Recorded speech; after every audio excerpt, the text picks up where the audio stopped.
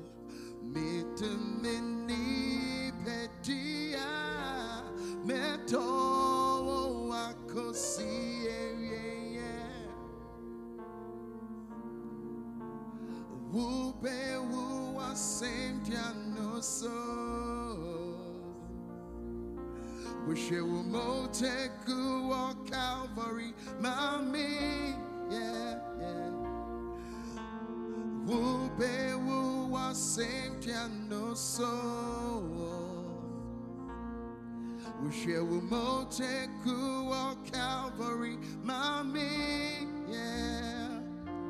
Mating Mekara, Mini Pedia, Meto oh, Akosi, eh, yeah, yeah. Mating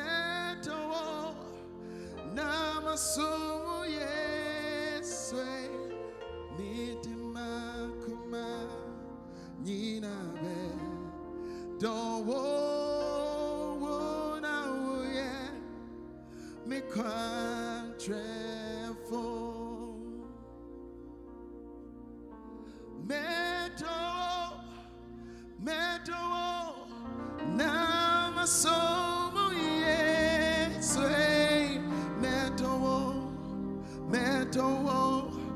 Now my yesu oh, yeswe mitima kuma yinabe. Don't wo na wo ye mi kwa trefo.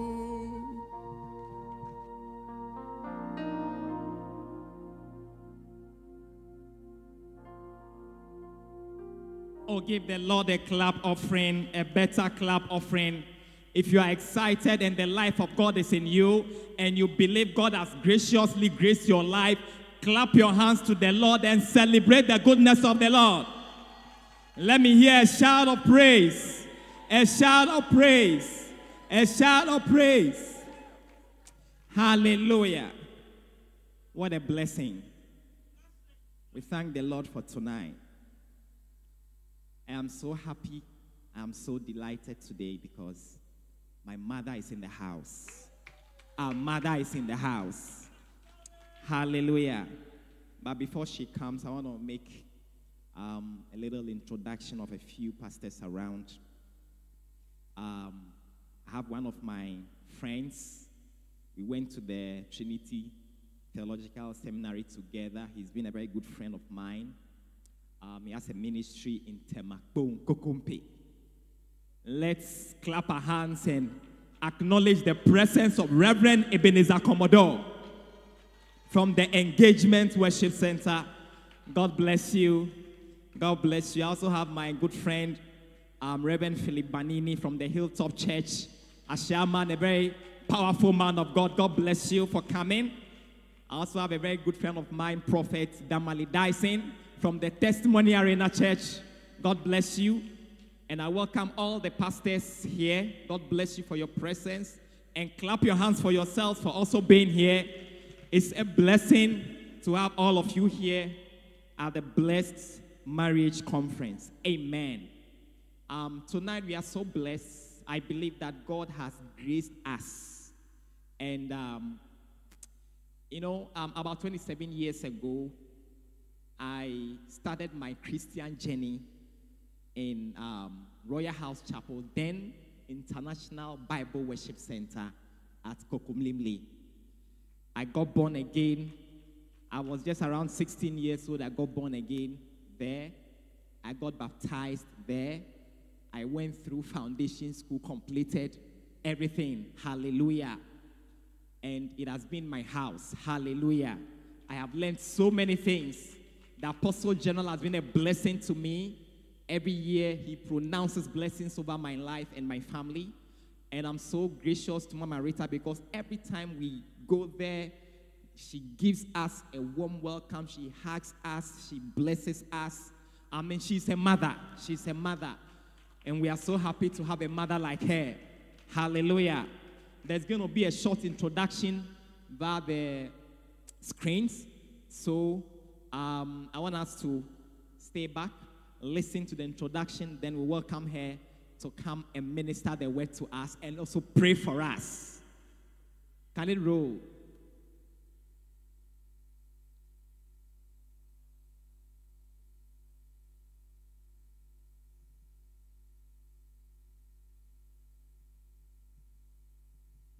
Clap your hands, clap your hands to the Lord. Celebrate the woman of God. Celebrate the grace of God. Celebrate the woman of God. Celebrate the grace of God. The Lord has been good. For us to have, you know, I was monitoring the the Vows Day um, program that they had. It was it was so powerful. I was listening to the preaching. I was listening to the testimonies and many questions were being asked, and she was answering the questions. I said, This woman is so graced. This woman is so endowed with the wisdom of God. So let's let's listen to the introduction. When I found you, I found love. You fall seven times, you will rise up again.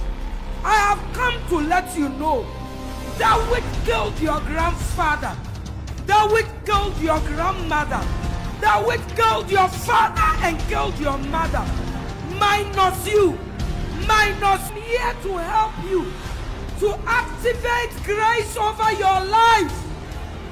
My darling, you are hiding under covering. You are hiding under protection.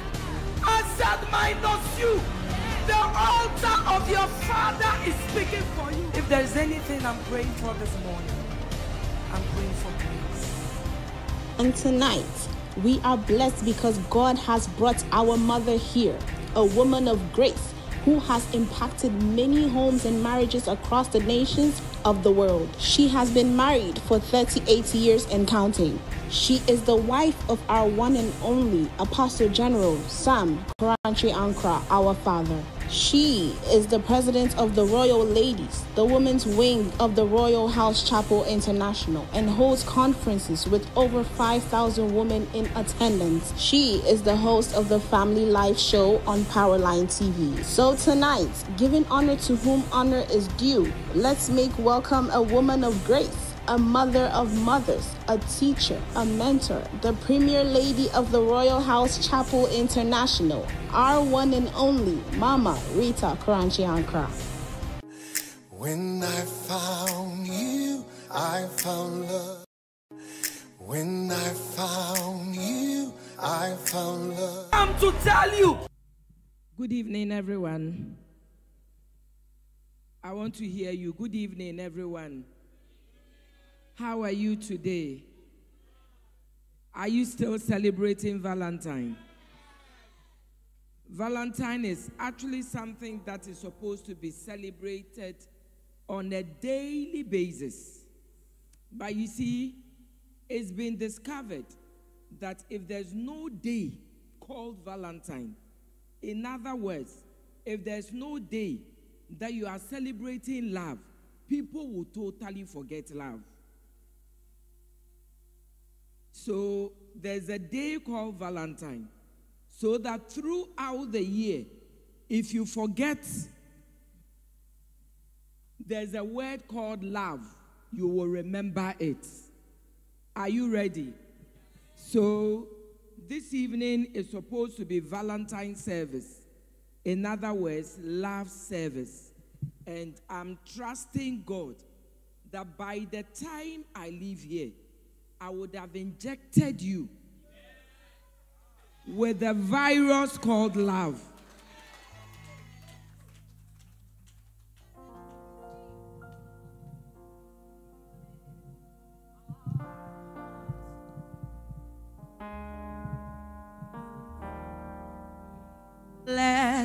Anticipation and cry aloud and give to God the praise of our salvation,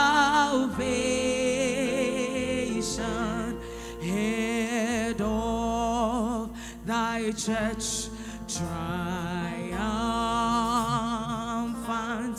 We joyfully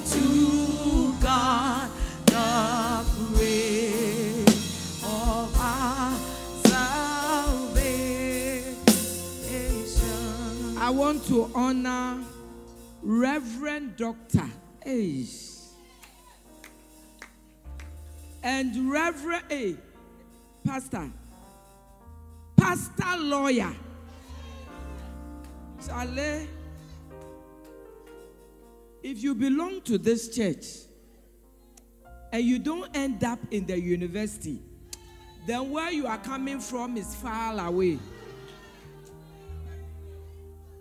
This is a church of academicians. And once you become a part of this church, you must strive to go to school. Shall we honor Reverend and Reverend Mrs. Doctor and Lawyer Fiawoo.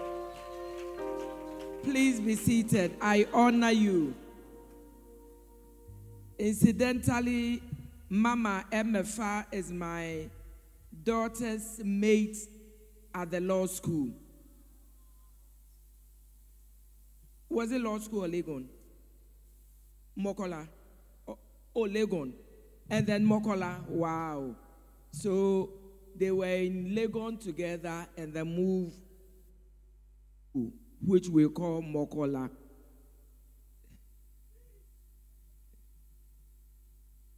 I pray lawyers in this church. And I pray doctors in this church. I have two lawyers in my house. One I don't have that I really wanted was, was a doctor. But I pray that my grandchildren will become doctors. I wanted a lawyer, I wanted a, a doctor, I wanted an engineer, I wanted an accountant, I wanted pastors. All of them are pastors. But I'm trusting God for it. I think I'm carrying the, the doctor anointing from here into my home. Amen. And all the pastors here and all the great men here, I honor you and welcome to this is your first, the first ever had blessed marriage conference. Blessed marriage conference. So I want to welcome each one of you to the blessed marriage conference. This is the first, but it's not going to be the last. This is going to be a yearly program. And I see it growing from grace to grace. I see it growing from numbers to numbers. I see it growing from glory to glory. I see marriage vows being renewed here at this conference. I see marriages being blessed at this conference. I see children coming out of this conference. If you believe it, say amen. I want to bring you greetings from my father, my husband, my boss, my spiritual father, my mentor, my boyfriend, the sugar in my tea, the granules in my usa cocoa, the dawa dawa in my okra stew, the wele on my wache.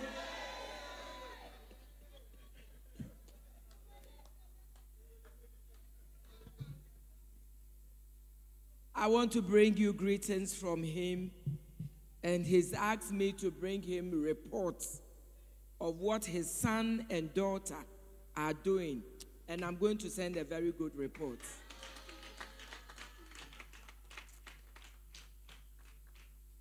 My delivery this evening is how to develop friendship in your marriage. How to develop friendship in your marriage. You can also decide to make it friendship in your relationship or friendship in your courtship if if you are in courtship and you are not yet married. So, developing friendship in your relationship or friendship in your marriage. I have come to learn the friendship is the greatest gift that God gives to us. My darling, if you are here and you don't have a friend, then you are in trouble. By my experience, over the decades of marriage, listen carefully to me. Romance will fade away, love will fade away, but friendship never fades away in marriage. Why do people divorce? People divorce because romance is out of the relationship. People divorce because love is out of the relationship. But then, the people who never divorce, like my husband and I, is because there's friendship in the relationship. Say friendship.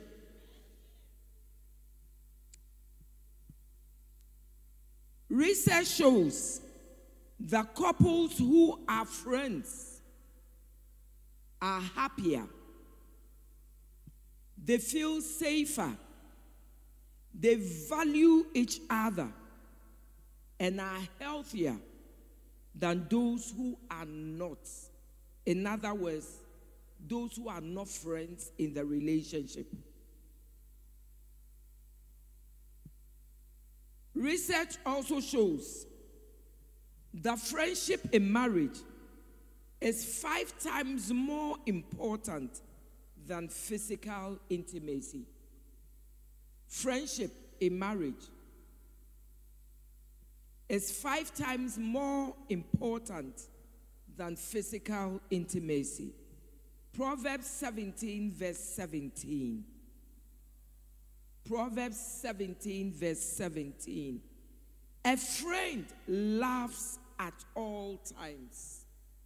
A friend laughs at all times. They are there to help when trouble comes. A friend laughs at all times.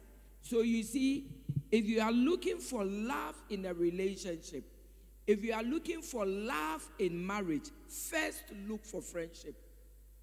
I always ask young people when they come to me, Are you friends? My darling, sometimes what we think is love is not even love. What is it?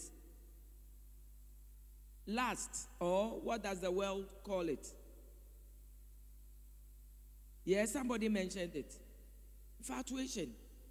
When you see somebody and you feel like helicopter is in your heart. When you feel like there's there's some thunderstorm through your blood. My darling, it is not love. Friendship. Everybody say friendship. But this is what I want to tell my congregation or my audience this evening. That friendship is not automatic. Friendship doesn't just come, you must work at it. Friendship is not like cocoa you are drinking.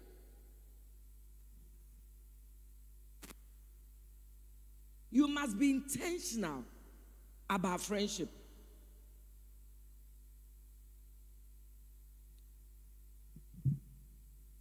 There's so much stress in our marriages today. Why? People are married, they are working. Like Dr. Fiawoo, he's married, he's a father, he's a pastor,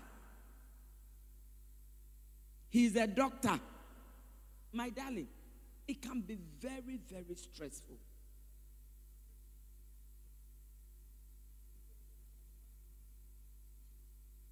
Very, very stressful. Mama MFA is a lawyer, goes to court, writes reports, comes home, three boys, two, oh, two boys, one girl. That is not easy. Oh. Some people are going to school, five full time jobs. It can be very, very stressful. That is why you need friendship in the relationship. When you are coming home, you must come home not to just a husband, you must come home not to just a wife, but you must come home to your friend. Are we there? Ways to build friendship in your relationship ways to build friendship in your relationship. Number one, establish a time each week to spend quality time together. Establish a time and a day each week to spend quality time together. I said, friendship is not automatic. You must work at it. Let your time together be devoid of quarrels. Let it be devoid of arguments. Let the time together be a happy hour for the two of you.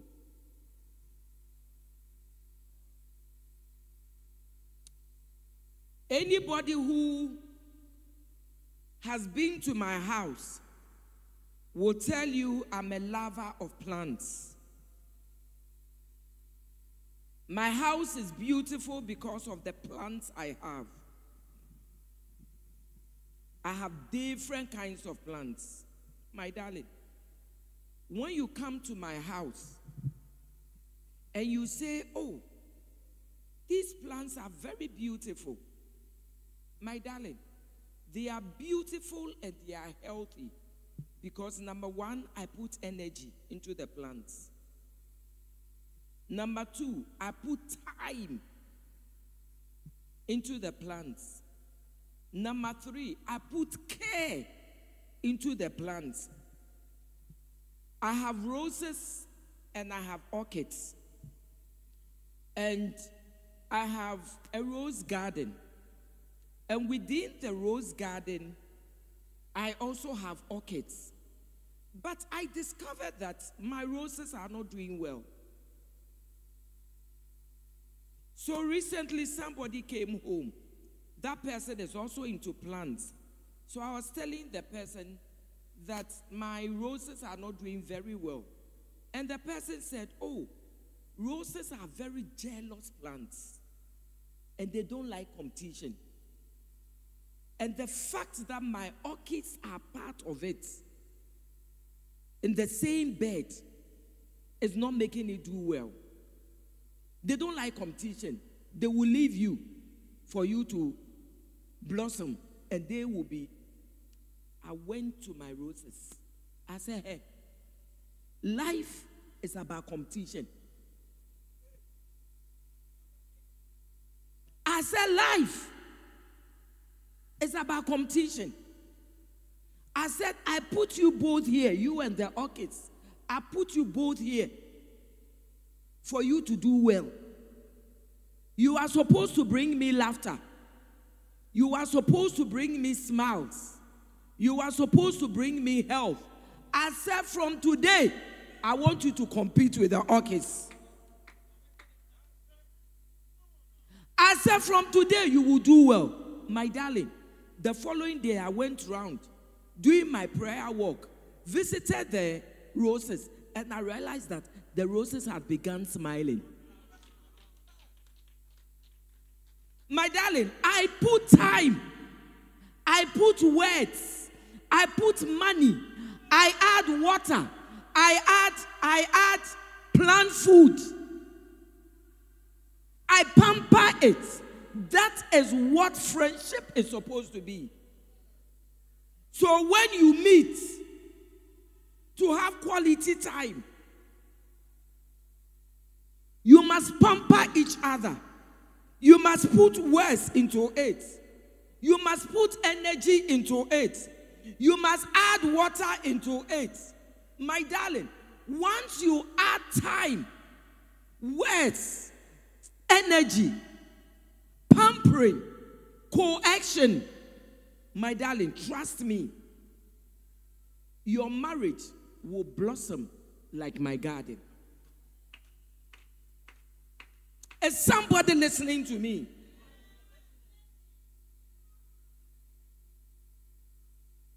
What are some of the things you can do during the happy time together? During the quality time together? Number one, you can go for walks. Going for walk free of charge. You don't need money to go for work. Are you listening? You can watch a movie or listen to news together. You can play a game together. It's a long time I saw a Wari and Ludo. I don't know whether they are lost in the system. But these are things we used to do.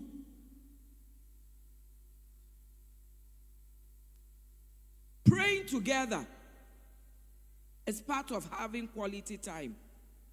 Going to church together is part of having quality time. Cooking together.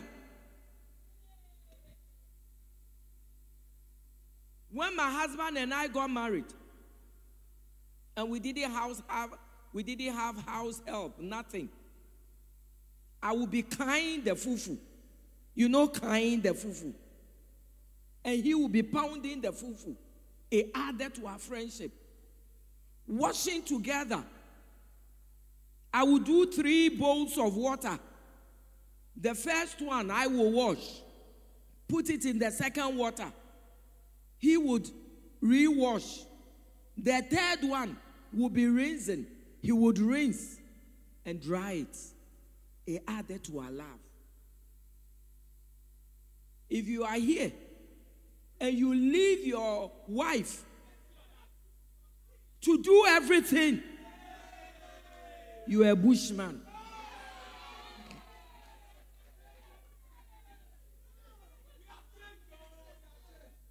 God have mercy on you. And what annoys me, the men who don't help their wives and yet they want fresh food every day. Come and marry me, you get fresh food.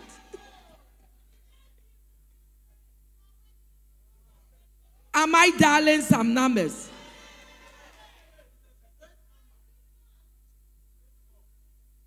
My darling, I'm been married for 38 years. My husband and I are very good friends.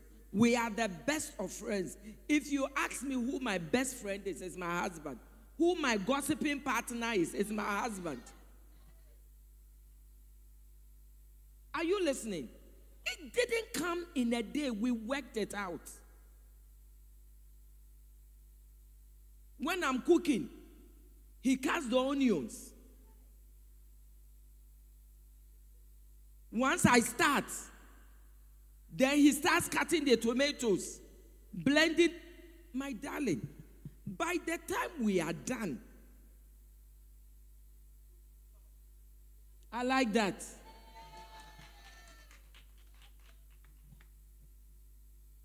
By the time we are done, there's so much friendship. When we come to church, the people I came with will tell you once we come to church, unless we are going home at different times, but if we are going home together, either I park my car and I jump into his, or I jump into his and somebody follows us with my car. Friendship. Everybody say friendship. Number two, communication. Communication in every relationship is vital to the success of the relationship. Communication in a relationship is like location to business.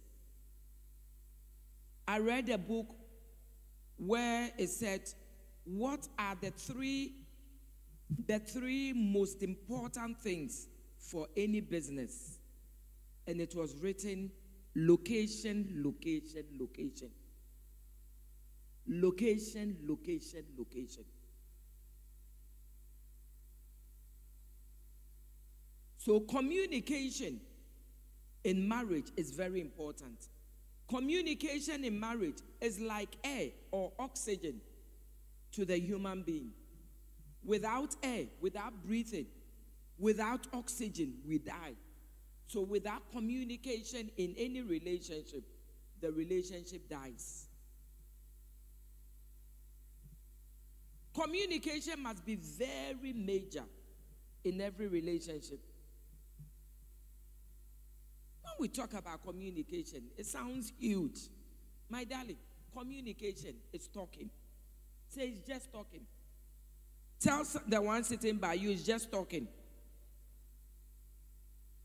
You must communicate or talk or chat or converse on a daily basis.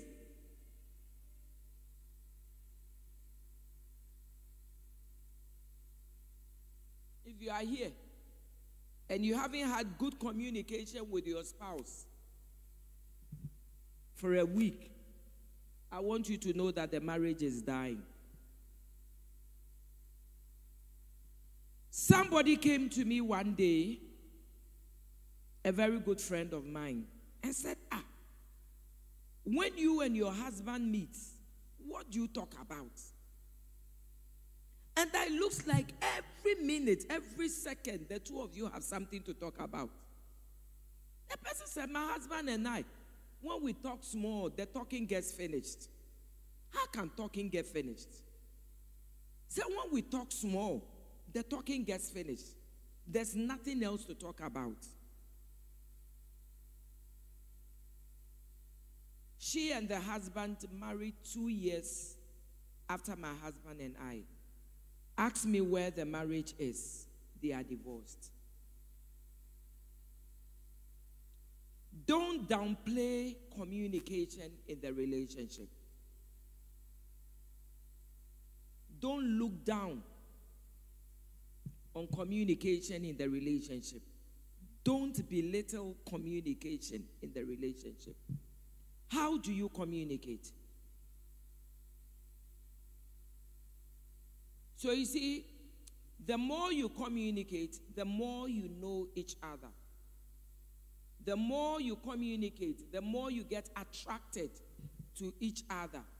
The more you communicate, the more there's bonding between the two of you.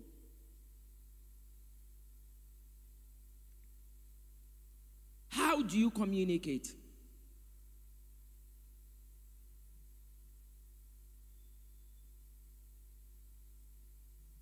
Number one,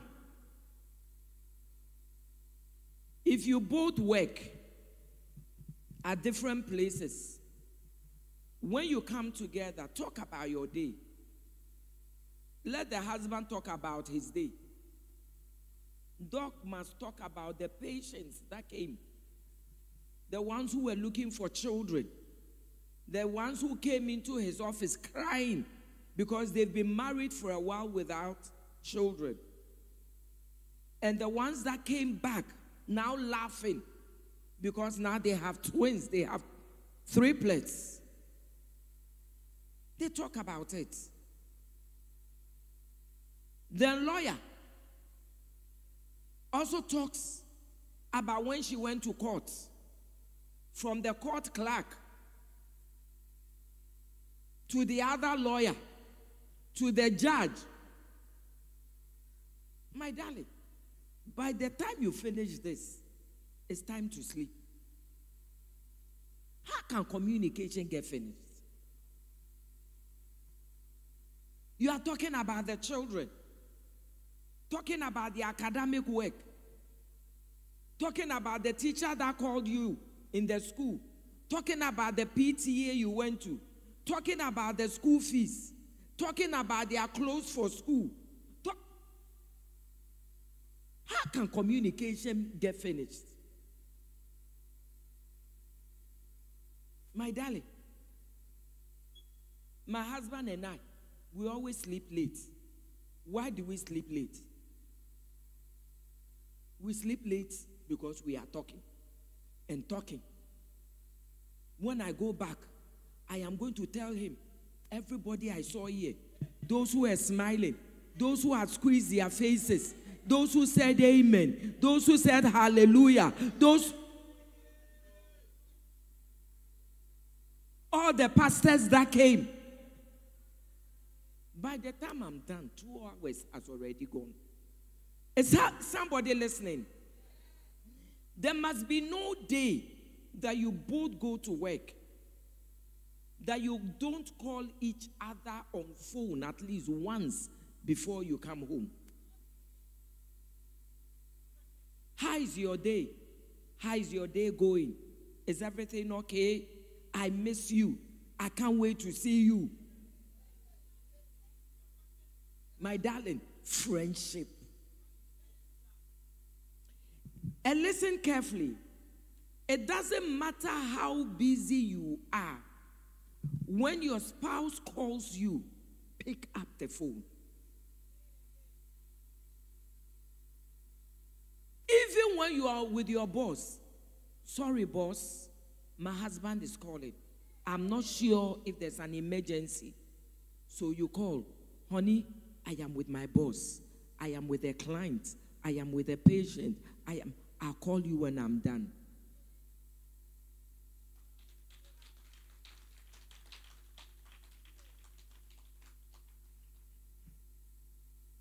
During the day, when you are too busy, the slightest opportunity you have, send a WhatsApp message or send a text message. I'm fine. I hope you're also fine. I can't wait to see you this evening. I love you. Am I talking to some people? You must you must treat each other's phone call with with with, with urgency. When they send you a message, don't be one of those. One lawyer I have in the house, not the one I came with. No, not the one I came with. She's at home. I keep telling her, we will share the returns on phone. You will send a message, WhatsApp message, on the family page. She will see it after two weeks. Meanwhile, she's always holding her phone. My darling,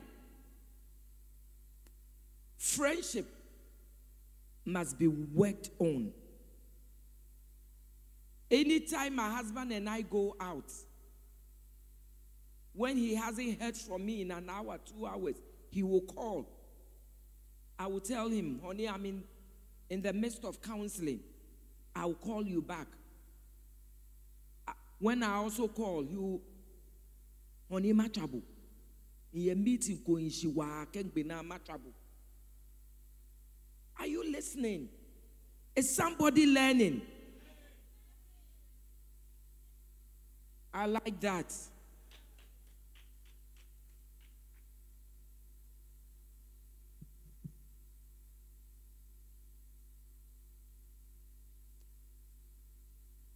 There is no communication in some relationships because the man is not interested in what the woman does, the woman is not interested in what the man does. So when they meet, there, is no common ground. There is nothing common between the two of them to talk about. The woman likes Nigerian films.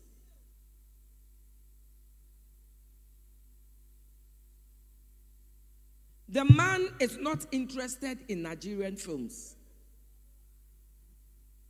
So when the woman is talking about the thing she watched on the Nigerian film, the man is not interested.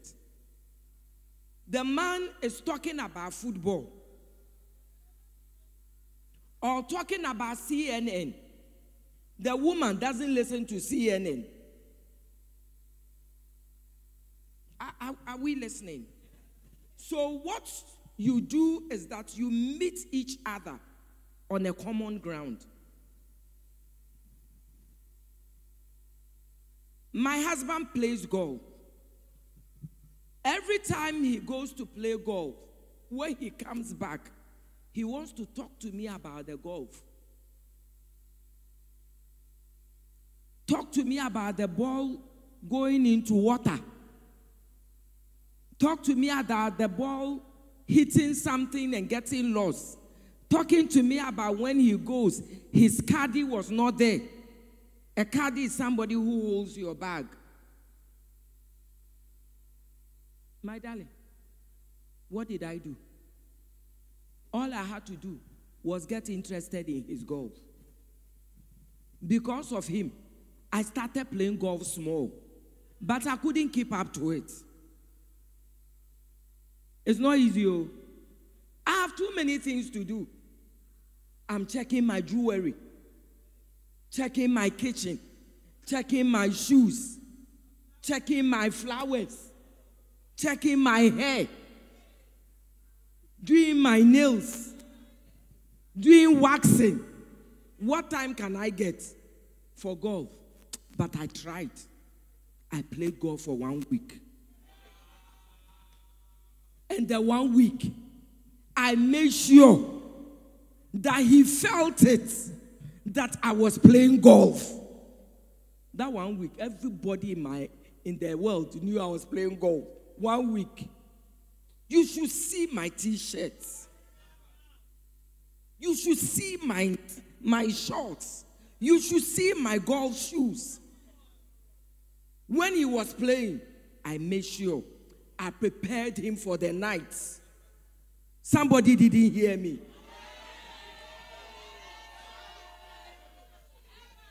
I went right in front of him, pushed my buttons, held the golf sticks. Meanwhile, I don't know inside though. Pushed it like this, went like this. What? He gave me high five on the golf course. After that week, I haven't played again. Are you listening? Naturally, I don't know inside of football. I don't know inside. I have tried to learn football. It's not my thing. I don't know it. But when he's playing, just to have a common ground for us to communicate, I sit by him, my darling. Even when it's not a goal, I'm shouting, it's a goal. Even when my opponents are scoring, I am shouting, it's many will blue. Is somebody listening? So, because I get interested in what he likes, he also tries to be interested in what I like. Now I come and I discuss my flowers with him. Then I'm talking about my gardeners. The way Ajinkwa is not watering the flowers well, and Ben is not watering the flowers well. And the way I was expecting Nash to come and supervise, and Nash, did, he also gets interested in mine. Are we listening? So we must meet each other halfway.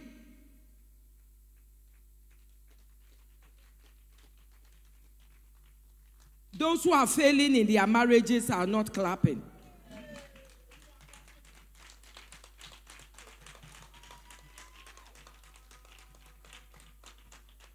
Please let me know when my time is up. 15 minutes to time, let me know.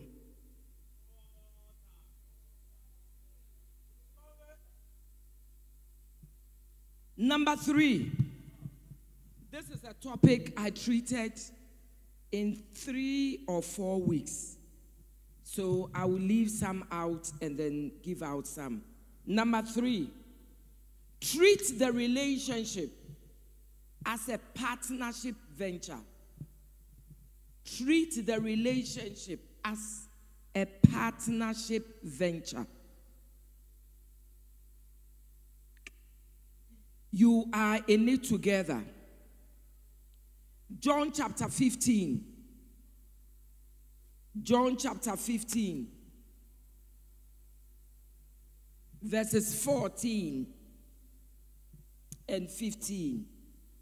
Jesus said to his disciples, and remember that the relationship started like a boss and their subordinates and his subordinates, or a teacher and the students. But this is what Jesus had to say. Jesus said to his disciples, You are my friends. If you do whatever I command you, no longer do I call you servants. For a servant does not know what his master is doing. But I have called you friends. I have called you what? My darling, the relationship, the marriage is supposed to be on a partnership basis. There's nothing like my boss. There's nothing like my servant. There's nothing like a second class citizen. We are equal in the relationship. That is why when you are going for a wife or you are going for a husband, you go for someone who is your is your is your equal. If you are ready to go for somebody far below you, you must ready to make the person your equal.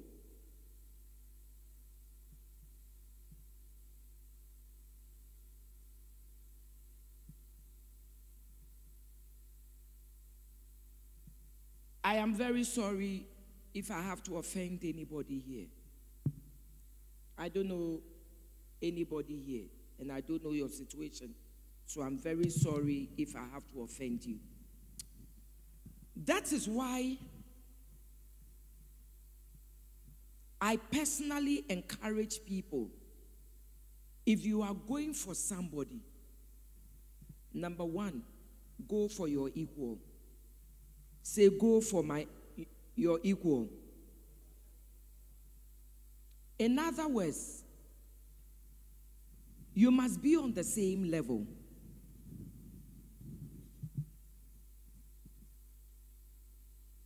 When dog and lawyer meets, because they're on the same social level, there's no way dog will look down upon lawyer or lawyer will look down upon dog. I am sorry if I'm stepping on some toes. Assuming doctor on his level went for somebody who only has SSS. He would always look at her with the level of an SSS. I don't want to say drop out. It's happening. At least it must be, even if she's not a lawyer, but has a first degree or a diploma from a tertiary, it's fine. You are co equals. Are we listening? You are a lawyer. You go for somebody who is a carpenter.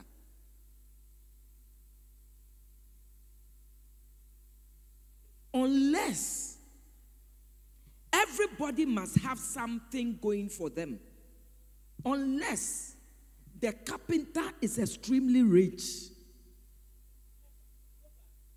What gas level? So money makes up for the education. Not even anointing makes up. Not even anointing. A lot of young people are making a mistake.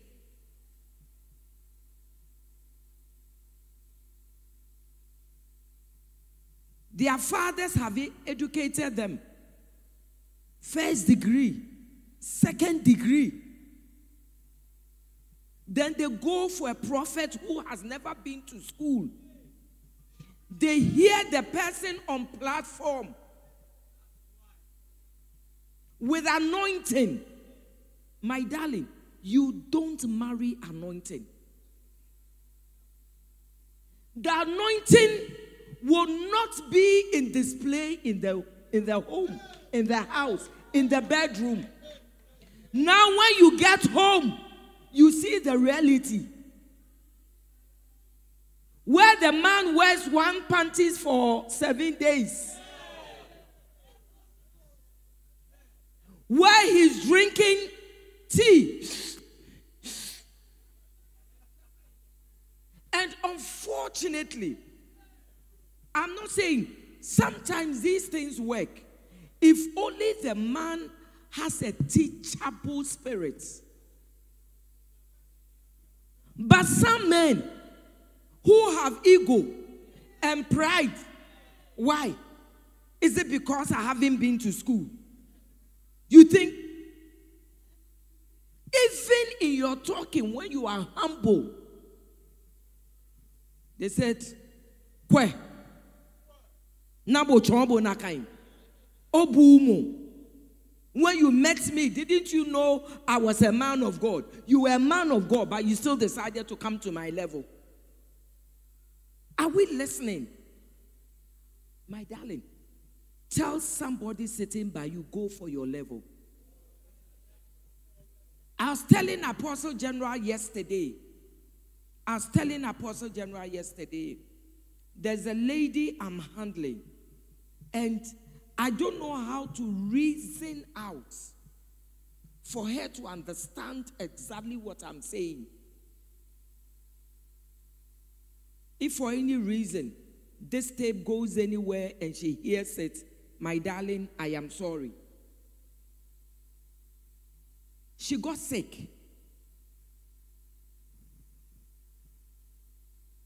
Serious, serious bleeding that doesn't cease. So eventually, her womb was removed. And so what? According to her, when the young people come and she tells them her womb is removed, they walk away. So now, guess what? She's 28 years. She sends me a message Mama Rita, I have a testimony for you. I have a breakthrough for you. I said, I can't wait to hear the testimony and the breakthrough because I've been praying with her all throughout. Somebody has come. I said, Praise God. My father's friend. I said, How can your father's friend?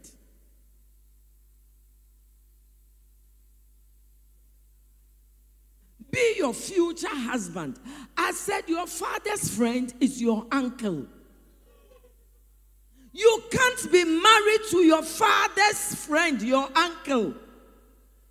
28.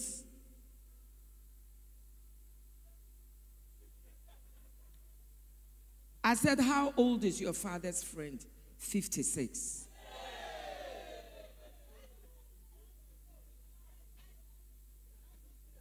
I said, My darling, this will not work. I said, Don't be too hard on yourself. Womb or without womb, you will marry. I said, Womb or without womb, you get your type. Womb or without womb, you get your partner. Womb or without womb, you get your equal. I said, forever in this relationship, this man will see you as his daughter, treat you as a daughter. You are not on the same level, you are not partners. I don't know if there's a young girl here listening to me.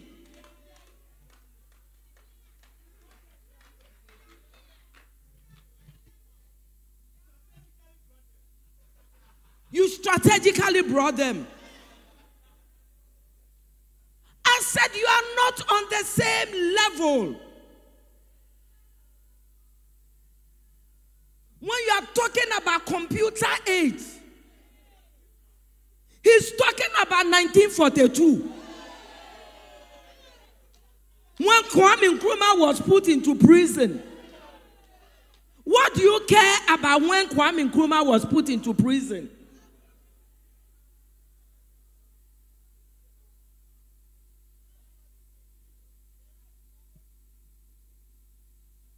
So I said, calculate. In 15 years, how old would you be? I said, calculate. In 15 years, how old would he be? I said, in 15 years, you'll be sexually active. You would have reached your climax when it comes to your sex life. In 15 years, that is when he would have decreased.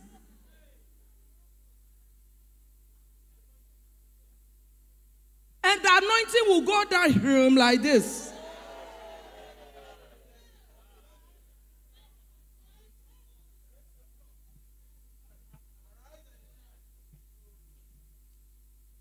Tell somebody, look for a partner. My darling, we are talking about friendship in relationship. If there must be friendship, if there must be somebody you would enjoy life with, if there's somebody you must enjoy communication with, if there's somebody you must enjoy with, my darling, it must be your friend and nothing else. What we say love will not always be there. Things happen in a relationship when you think that the love is no more. When there's no money, there's no love. When you are pregnant and you are fat, your nose is big, your lips are thick, you are looking very dark.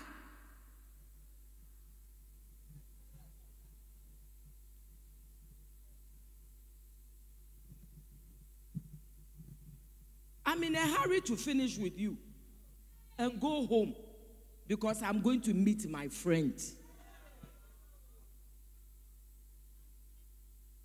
You go home. When was the last time you had a meaningful conversation with your spouse? I am talking about young ladies who are going for their uncles. They are young men also going for their mother sisters.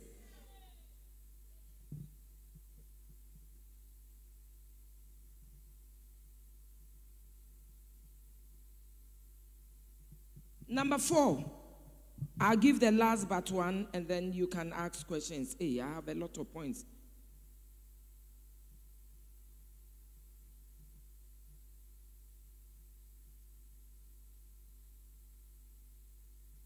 Let your partner feel important. Let your partner feel important. One way to build friendship in the relationship is to make your spouse feel important. You can do things to show that you love, you care, you value, and you appreciate the relationship with them. How do you make your spouse feel important? A gift on their special day.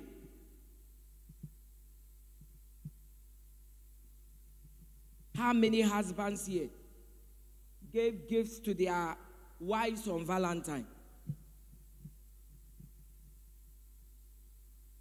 Hmm? I can see guilt on the faces of some men.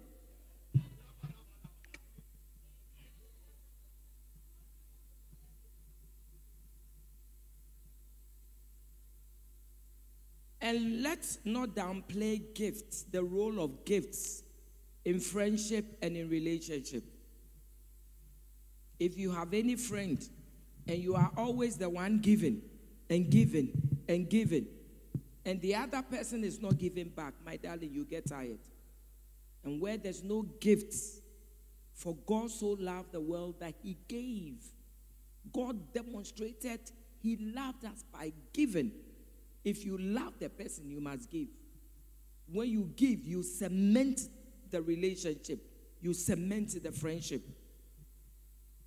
How do you make your, your partner feel, feel important?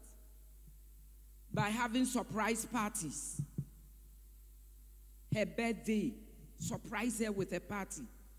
My darling, when we say a party, we are not saying big party. There can be Kelewele party, there can be Kenke party, there can be fried yam party, there can be a Omutuo party, there can be Sobolo party.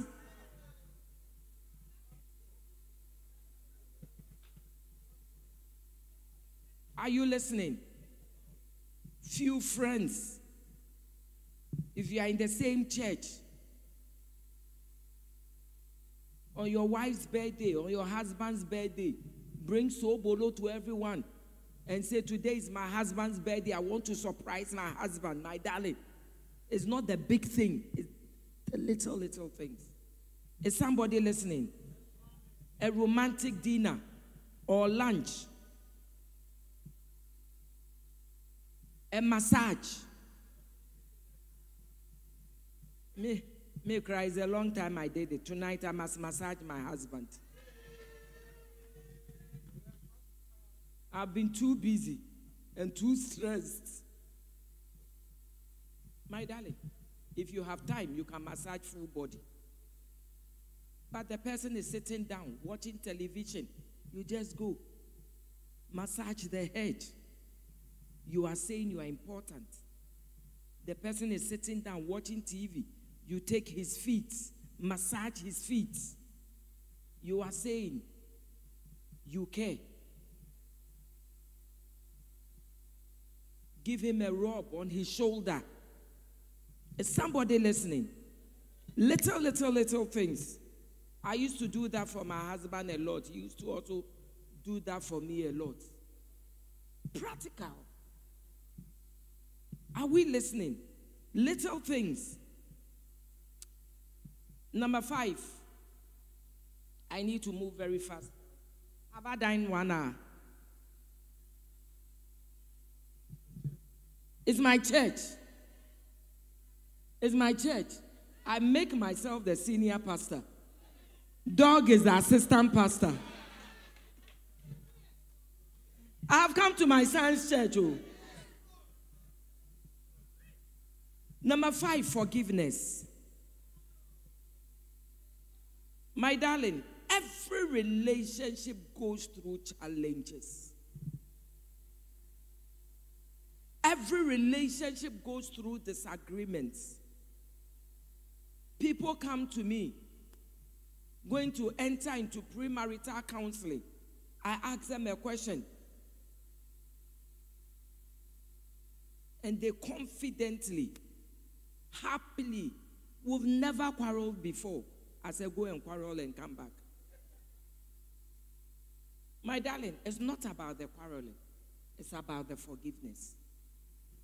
If during courtship you have never learned to forgive, in the marriage, you would never be able to forgive. As long as you were born by different parents, you grew up in different homes, you didn't grow up in the same vicinity, you didn't go to the same school. You didn't eat on the same dining table when you were growing up. Somebody ate on dining table with fork and knife. Somebody also ate in Iowa on the floor. Somebody stayed in hall and chamber with the parents and seven other siblings. You, since you were born, have had your own bedroom, my darling.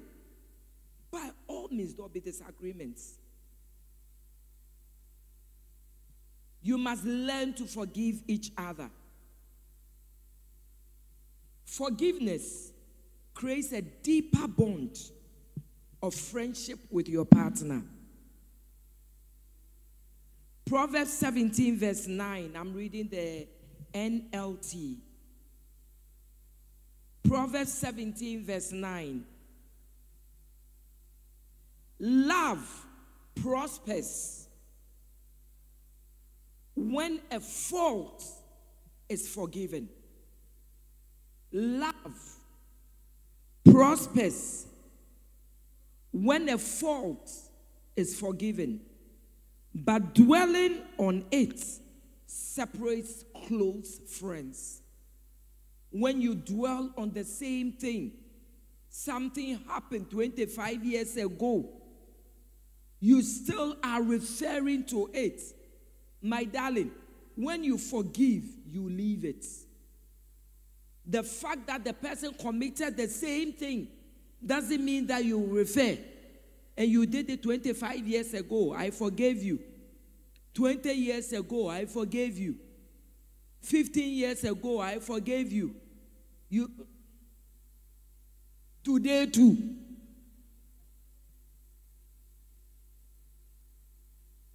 But well, it depends on the kind of offense. There are some offenses that you have to refer to it.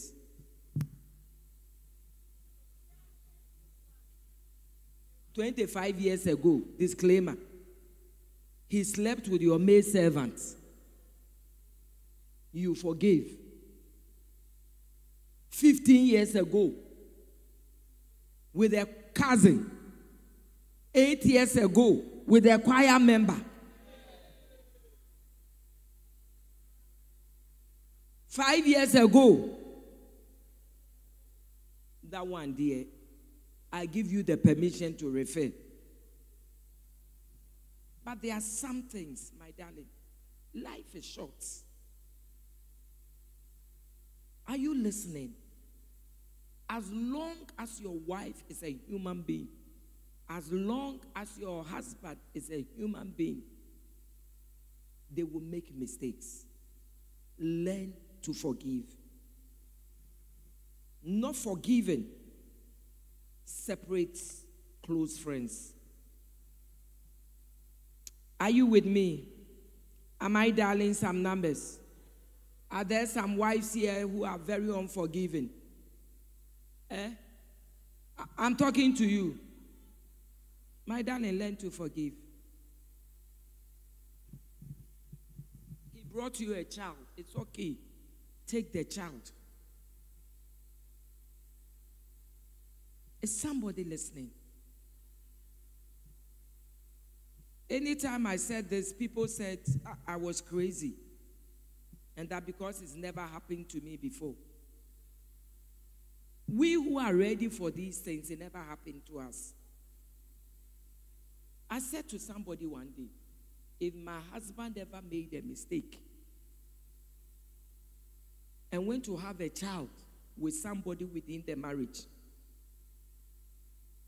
I will go to court, prove to the judge that the other woman is sick and needs to be taken to the psychiatric hospital. So that child is mine. I'm taking the child. No, but if you are in your right senses and you know that the man you are going to sleep with is a married man, would you sleep with that man? The gold in the marriage is mine. All the bank account is mine. The house is mine. So the child that comes out of the marriage is what? You like the bank account, but you don't like ch- Are we listening? And I see men, women. I don't know. Sometimes people think that I'm of a different world. We don't. We don't know our priorities. You are fighting. You don't want to see the unborn child. Meanwhile, you don't know your husband's bank account. Your name is not on. The land, your name is not on.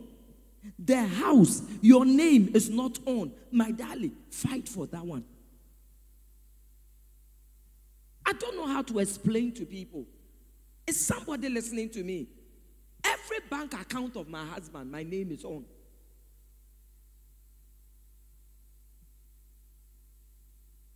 There's no house, there's no land that my name is not on. My darling, fight for that one. Somebody came to me on Val's Day after I was done.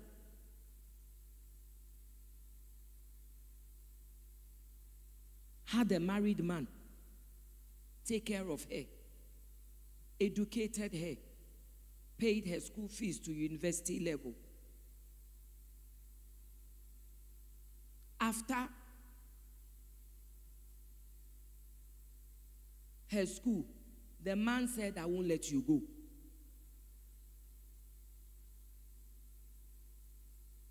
The woman said, Let me go, find my own.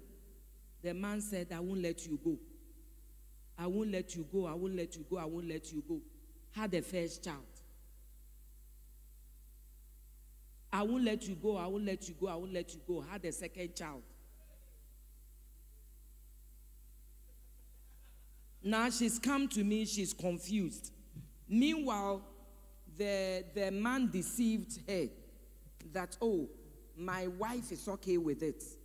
By our tribe and our tradition, a man can marry, yes, according to our laws of Ghana, a man can marry as many wives as they want. That is, if it's a traditional marriage. But a type 3 marriage, the one we call the legal, the one that you wear white, is one wife, one husband. So now she's come to me.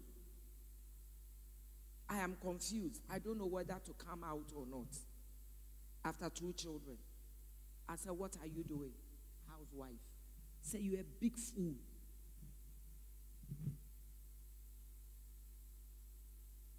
When people come to me, they say me, I insult. I will insult you if you, are, you don't have sense. I said you have two children. Meanwhile, you should see her sports. You should see her hair. You should see her car keys. You don't have any business. I said, if anything should happen to the man today, the family members will say they don't know you. The first wife will say they, she doesn't know you. What happens to your children? I said, before we talk, go establish yourself. Either get some job to do, get a shop. The man is rich. Let him establish you very well. So that if they say, hey, Jack, you can, you can take care of your two children. Is somebody listening to me? If you want to do the thing, do it well. You are going for somebody's husband, do it well.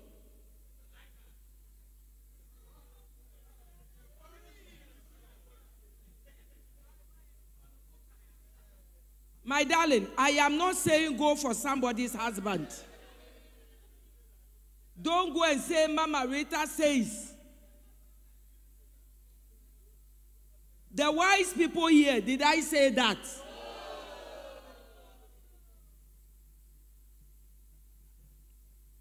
Maybe the last one, and I'll be done. When I'm invited again, I'll do part two. It's my church, so I can walk in anytime. The last one pray for your partner at all times. When you are happy, pray for him, pray for her. When you are sad, pray for him, pray for her. When you are hurt in the relationship, pray for him, pray for her. When you are bitter and you feel like not forgiving him or her, pray for him, pray for her.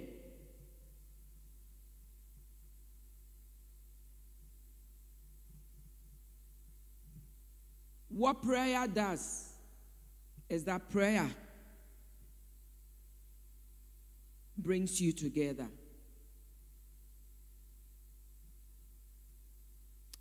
Job chapter 16, verse 20 and 21, reading from the NIV. Job chapter 16, verse 20 and 21. Do you still love me? Or I've stepped on some toes, so you are angry with me? Job 16, verse 20. My intercessor is my friend. Are you listening? My intercessor, the one who prays for me, is my friend.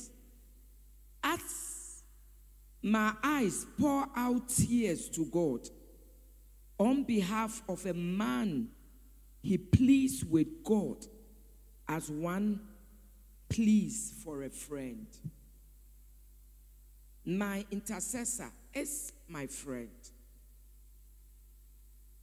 Sometimes, without your partner even knowing that you are praying for him or you are praying for her, what happens is that the prayer brings you together. The prayer attracts you to each other. The prayer binds you together. The prayer glues you together. The prayer brings you together.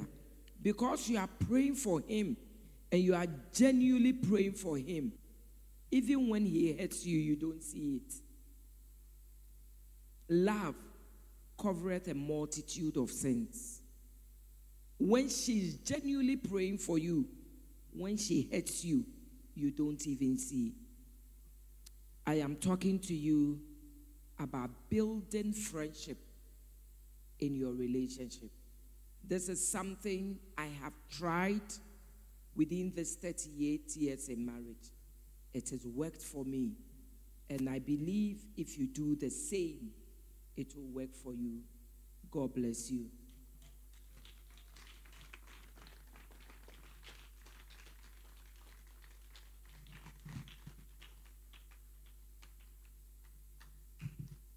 So the next time, or when I have the opportunity, we will talk about laughing together in the relationship, getting away in the relationship, sharing bedrooms in the relationship, affirming one another each day in the relationship.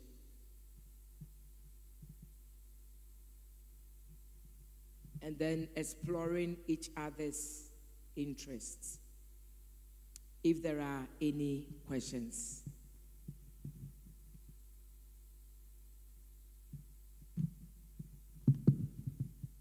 Please go ahead.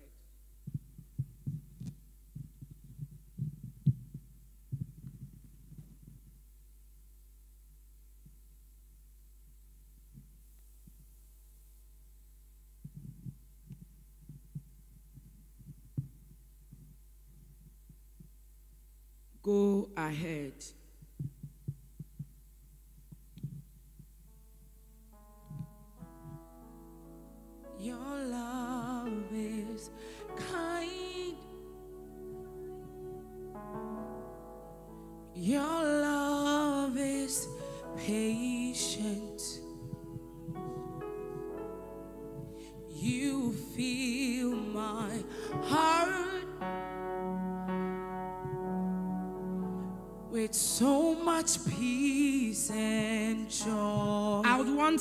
To read the questions for me. You're amazing. You make my life feel brand new. All right. Oh, I think we should clap our hands for our mommy. Our mommy has really preached from her heart practical things about friendship and marriage and relationship. What a blessing. So, if you have a question, um, the ushers are going around with a basket to collect your question. You know, we have just a briefing, we have about 20 minutes to take the questions. Then uh, Mama Rita will answer them as they come. So, I'm going to read the first eight. This is about five questions and one. So, let me read the first one. Does intimacy or romance still exist during old age in marriage? That's the first one. Maybe if you go ahead. I should ask you. Okay, the, second question says that how can you honor and receive from your husband after seeing his flaws? Yes. Then the third one is okay. After this two, then Maybe add the third one. the, the third question is that when do you walk out of a marriage? Let me start with that one. When do you walk out of a marriage? You walk out of a marriage when the marriage becomes abusive. Number one, emotional abuse. Emotional abuse. The person is always insulting you.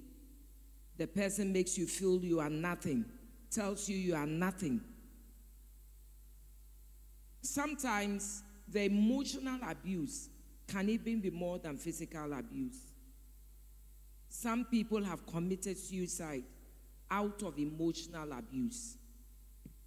But before you come out of a relationship because of emotional abuse, um, seek counseling. Number two, the one that I would say don't look back is physical abuse. When a man hits you once, don't give him the opportunity to, hit you a second time. And this time, let me talk about the men instead of the women. Why? Because I know some women are also very abusive, but generally, um, it's 90% over 10%. Are- are we okay?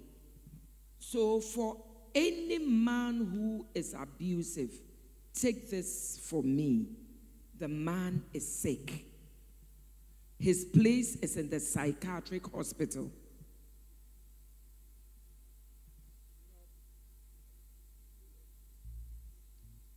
They hit you once, they will hit you a second, they will hit you a third, they will hit you a fourth, they will hit you a fifth. I've seen men who will hit you, bring flowers, come and cry, apologize, they will do it again. They will hit you, bring you fried rice,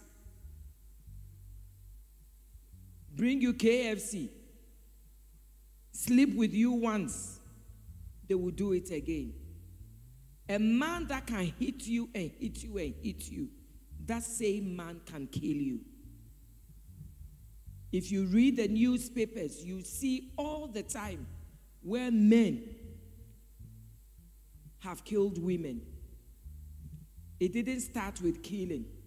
It started with, the, with they being physically abusive.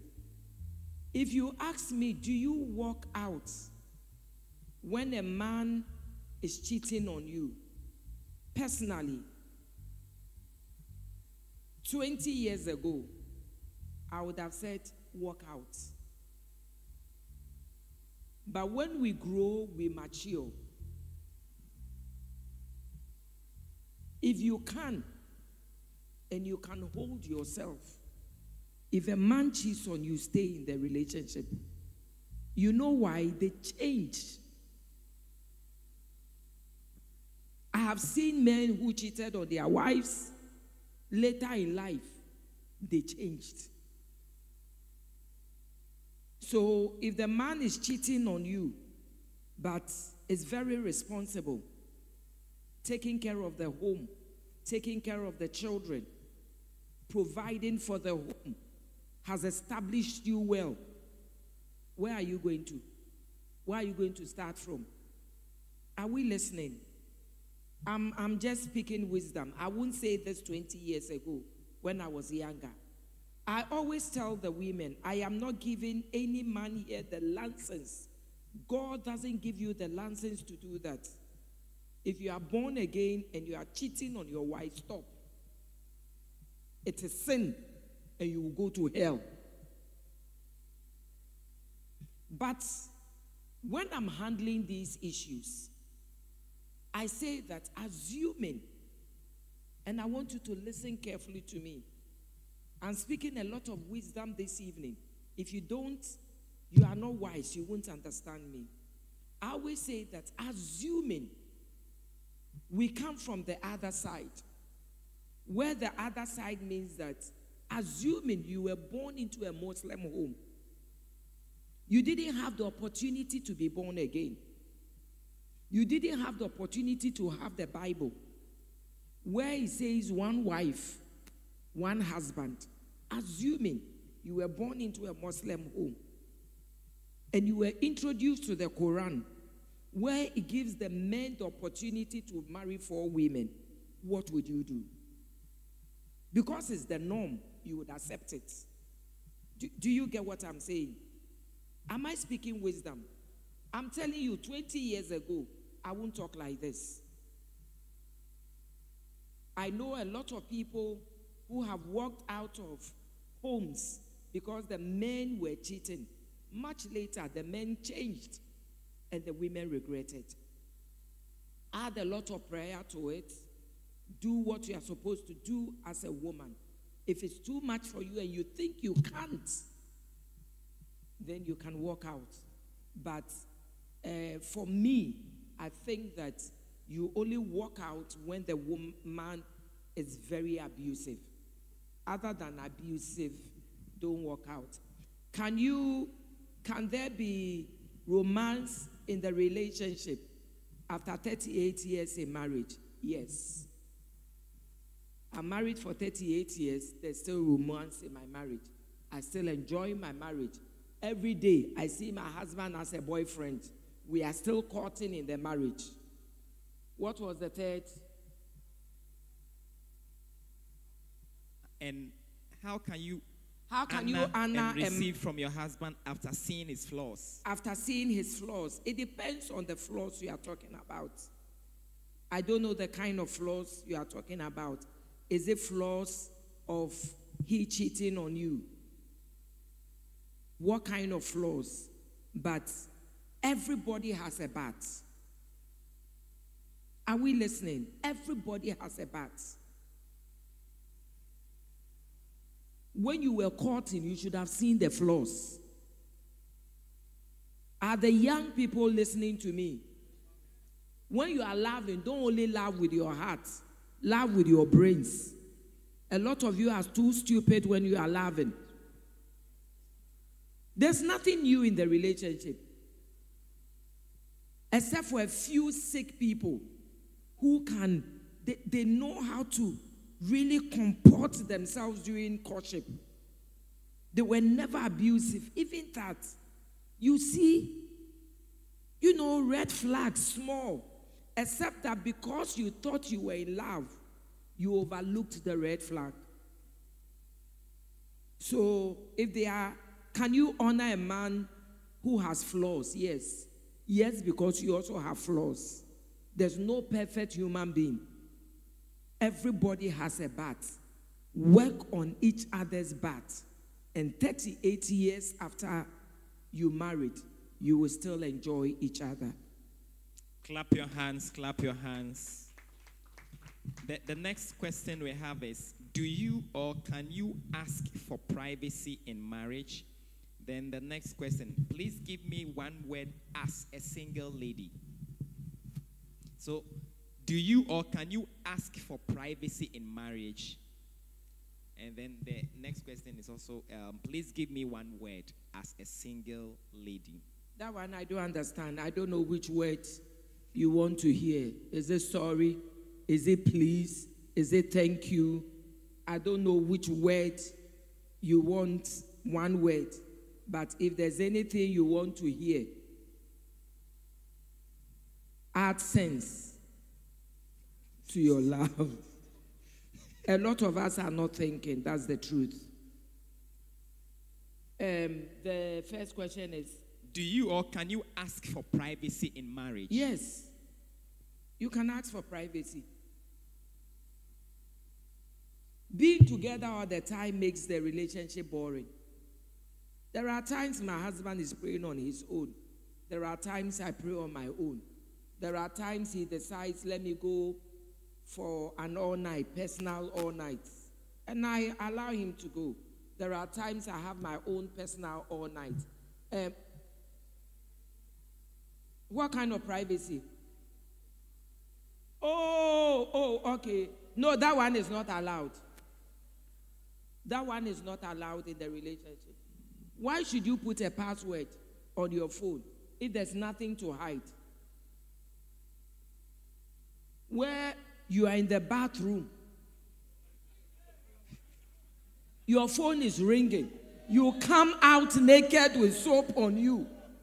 The next time you will fall down. Are, are you listening? My phone is there. My husband goes into my phone if he wants to. And because he knows there's nothing I am hiding, he doesn't even go into my phone. My husband's phone is there. I know the password to his phone. I can go to his phone at any time. But because I know there's no secrets that he's hiding, I don't need to wake up at 2 a.m. My precious sleep Go and check who has sent him a mail or who has sent him a message. Are, are, are we listening? Pardon? They can hold you. Uh, you, you take his finger and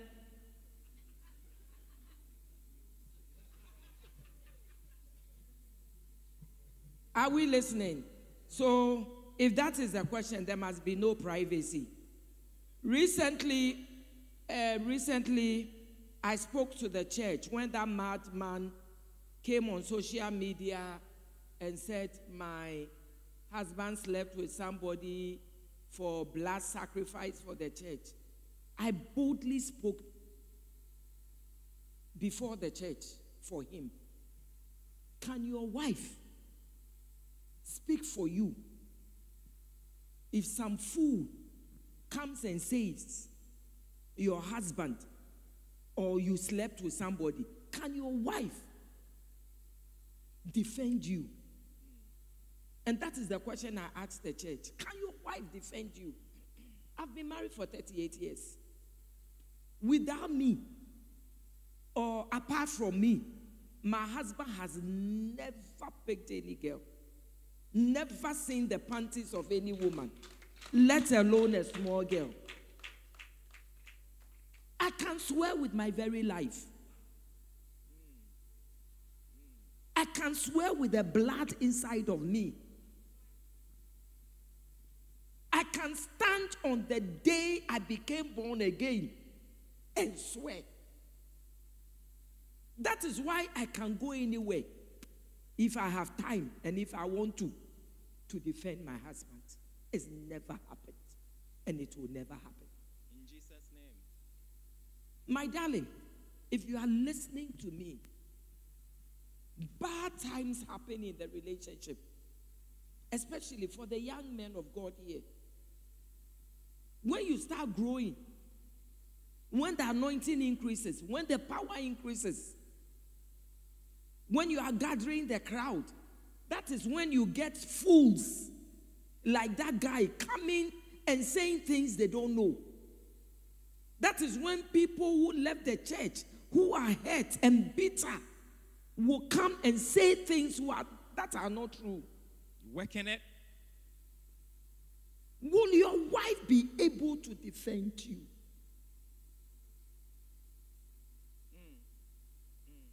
So please, whilst you are hiding your phone,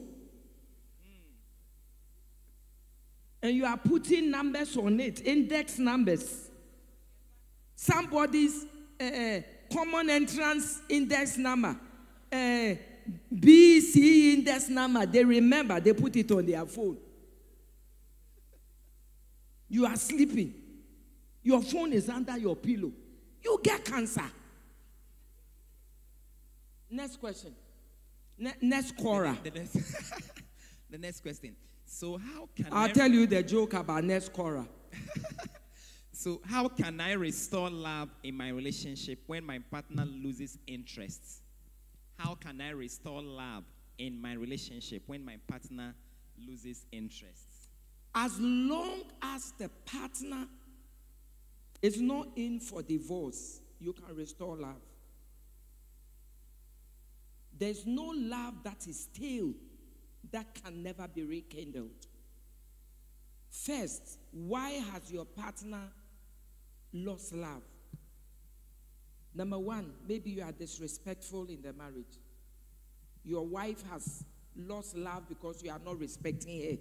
You talk to her anyhow before the children. May servant is there. You don't care. You insult her. You insult your husband anyhow. They will lose love.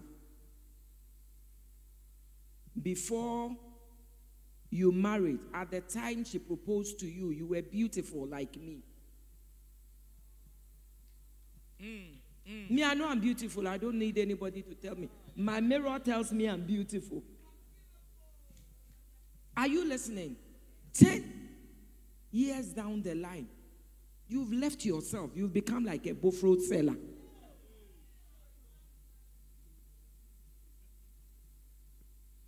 The woman will lose interest. The man will lose interest. They come to your house. Your house is smelling. The home is unkept. The bed is unkept.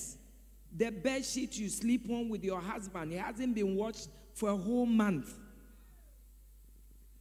Certainly, the man will lose interest. The only reason why he's still in the marriage is because he's born again. But I tell the young people these days, during our time, when we became born again, there was nothing like divorce. We never had, I mean, divorce was not part of our syllables. Now it is. So if you are in the relationship and you think that the man has married you, the woman has married you, so you can do anything in the marriage, I'm telling you. Even popes are divorcing in the marriage. Are we listening? Yeah. So do find out first. When you yourself, you sit down, you know why she's lost interest. Even if it's the man and he's lost interest because of another woman, my darling, you can bring his heart. Your food, your talking, your dressing, the way you tidy up, if it's with another woman, get the woman's picture. Women, sit on the floor, take the woman's picture, and say, This picture, I bring enmity between this one and my husband. God, what has this one, this thing got that me I don't have? From today, I divide them. That is it. Are we listening? There's so much you can do. There's so much you can do. Number one is prayer. There's no prayer that God doesn't hear and doesn't answer. There's something called the woman power. You have the right, you have the power. You have, all you need to do is to go before God. I always tell people when I married my husband, my husband was one of those tough people. Tough. He believed himself. He believed his wisdom was more than King Solomon. My darling, I use prayer to make him like Otinwu. Next question. Clap your hands. All right, the, the next question is Does age matter in relationship or marriage? I- if yes, um, what is the ideal age difference? I think I, I treated it a bit. Yeah. So for for for the man, if the man is older than the woman, one, two, up to about 14 is not too bad. Some time ago, I, I left it at 12, but up to about 14 years is not too bad.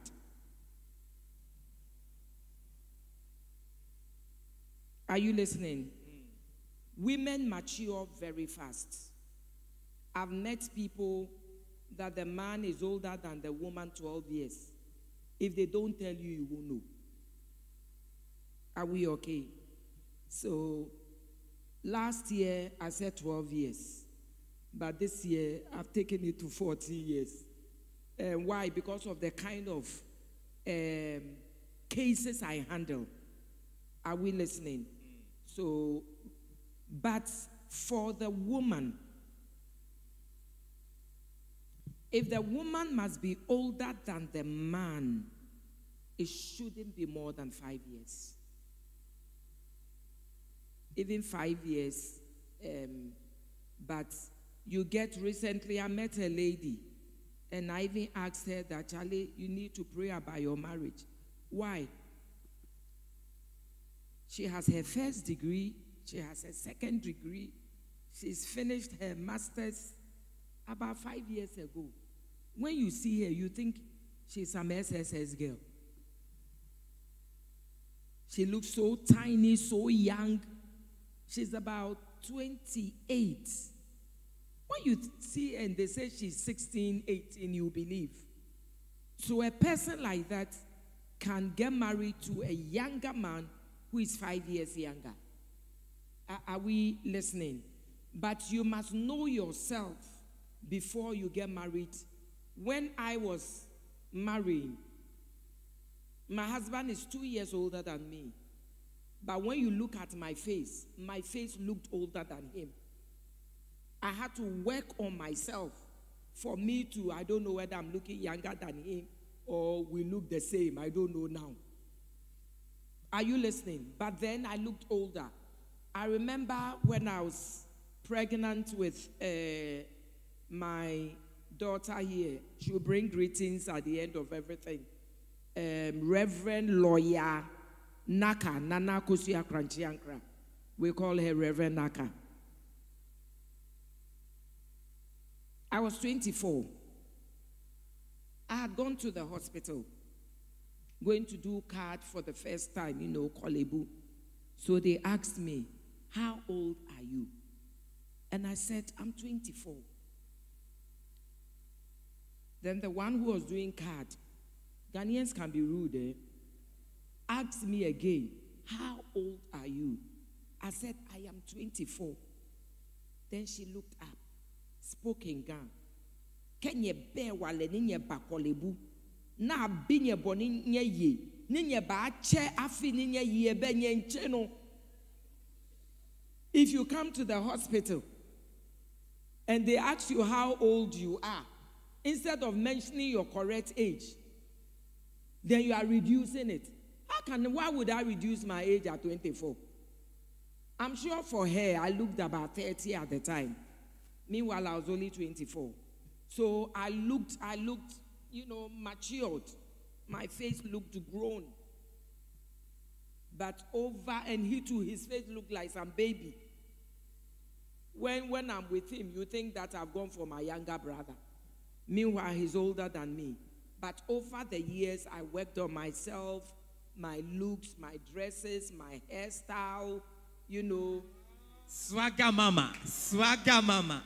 So you you must know all these things. If you are married to an older man, a man who is 14 years older, 12 years older, you must dress up like, you know, a matured woman.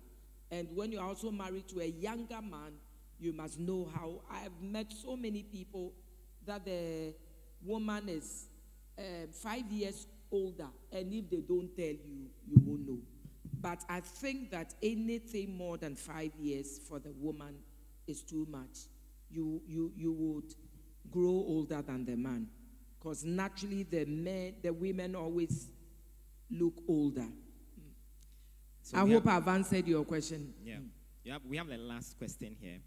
Please, I want to know what to do in a relationship when only one of the partner is giving love and anything while the other remains indifferent. So I hope that if both of you are here, if your partner is not here, go and play uh, my message to them. Love is a two way affair. Love is a two way affair. If one person is showing love and the other is not showing love, the person gets tired. But it also depends on the definition of love.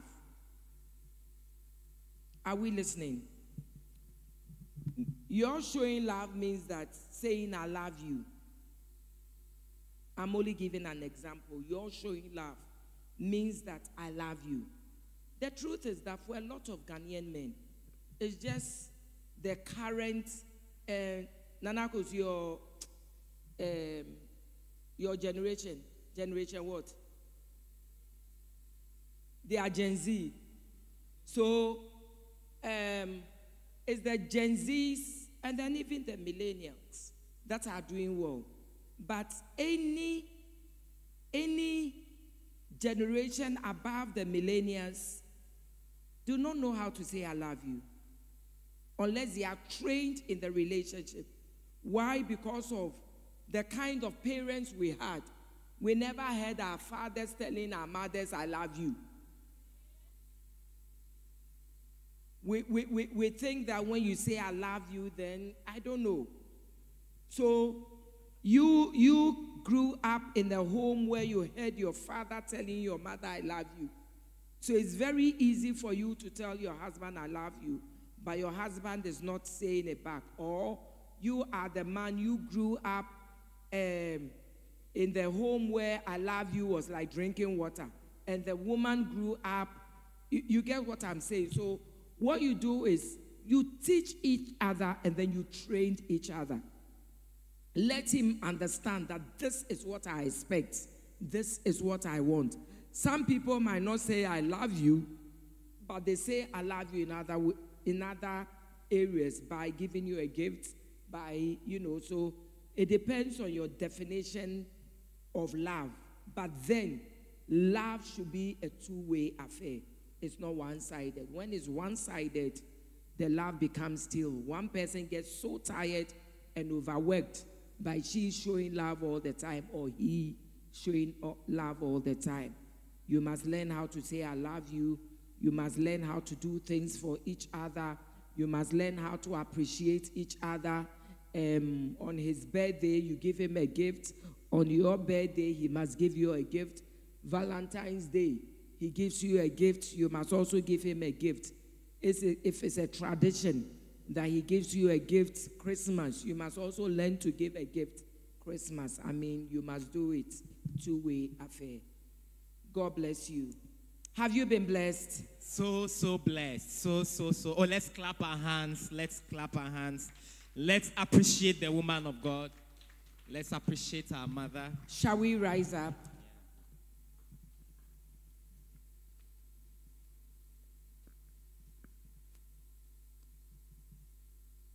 Three prayers and we are done. The first one, we are going to pray for every unmarried person here.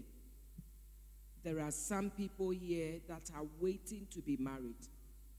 We are praying that may today bring them a miracle. May today bring the right man into their lives, right woman into their lives. May they not be married to, to sick people. May they not be married to abusive people. May they not be married to people who are not givers.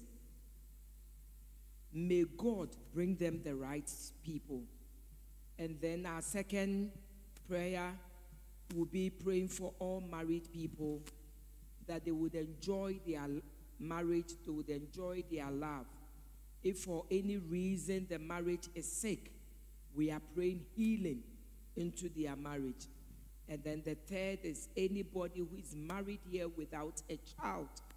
We are praying that a year today, a baby will be crying in their homes. So, our first prayer, so our first prayer, we are praying for the unmarried ones. If you are here and you are married, you are praying for everyone here who is not married that God will bring the right person their way. That this year, out of this conference, there must be so many testimonies, so many marriages, so many weddings. So, are you ready? Yes. Say, My Father, my Father, My Father, my Father, I am praying I am praying for everyone who is not married. for everyone who is not married. I am praying for myself I am praying for myself. if I am not married. If I'm not married, That God, that God, a year by this time. a year by this time, let me also be called a mister. let me also be called a mister. Let me also be called a missus. Let me also be called a missus. Let me also have my husband by my side. Let me also have my husband by my side. Let me also have my wife by my side. Let me also have my wife by my side. Open my eyes, Lord. Open my eyes, Lord. Open my heart, Lord. Open my heart, Lord. That I will not make a mistake. That I will not make a mistake. That the single ones will not make a mistake. That the single ones will not make a mistake. That the Lord will lead them That the Lord will lead them to the right people. to the right people. Open your mouth and pray. Open your mouth and begin to pray right now, my dear. The Lord is in our midst tonight. The Bible declares, Ask a thing and it shall be given unto you. Seek and ye shall find. Knock and the door will be open unto you. This evening you want to ask the Lord uh, that a year today when we come for the blessed marriage conference, uh, may my husband be my, by my side. uh, May my wife be by my side. uh, Anything that is not allowing me, oh God, uh, to meet my Boaz tonight, uh, I decree and I declare that Lord, open my eyes. uh, Let your favor fall upon me. uh, Let your favor locate me, oh God. uh, Cause me, oh God, uh, that a man will locate me. Uh, let a woman locate me. Oh Lord, this evening, I pray for the favor. May I be favored, oh God. If you are a woman, you are saying, oh God, favor my cause. Every single woman, ask the Lord to favor you. Anything, oh God, uh, that the enemy has placed upon you, uh, that is not making the men to see you. uh, Anything, oh God, that is not making the men to locate you. You are saying, oh God, in this year 2024, uh, cause me to shine. uh, 2024, uh, cause me to shine as a single lady. Let the favor of the Lord locate me, child of God. We are praying for the married people name of Jesus. that if there's any relationship here that is sick, Yes, Lord. if there's any relationship here lacking joy, happiness, peace, respect for one another, mm.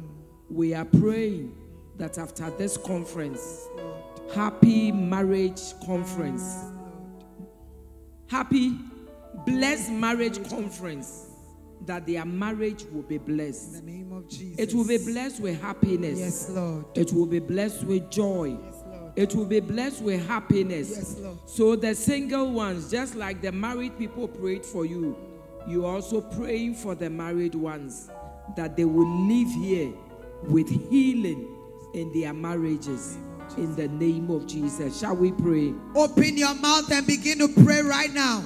If you are here with your spouse, you want to hold hands together and ask the Holy Ghost to take charge over this marriage. If you are here with your partner, hold hands.